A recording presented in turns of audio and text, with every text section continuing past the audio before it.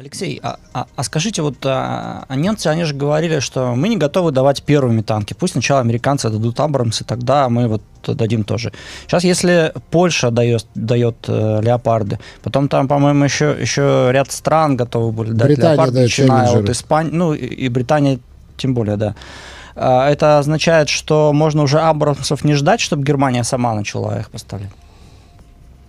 Для меня ключевым было заявление министра иностранных дел, что по- поляки хотите передавайте, передавайте. Мы не будем возражать. Это, это все. С, с этой точки зрения как бы ворота открыты. Немцы дали, сказали да. Будет ли сама не Германия передавать, так на вооружении не Германии, по-моему, 1500 танков «Леопард» разных модифи- модификаций. Э, Как это, знаете, медленно моргает. Начальник разрешил, нет, но он медленно моргает, закрывает глаза. поним- Этого часто достаточно. Представьте себе, что у Украины вдруг обнаруживается 100, 200, 300 леопардов спустя какое-то время. Так ли уж принципиально важно, что кто из них непосредственно немец, немецкий или так переданный Германии? Или хватит немецких леопардов только из других стран пришедших? Это же как бы вам шашеч- шашечки или ехать, старинный, старинный экзистенциальный выбор человечества.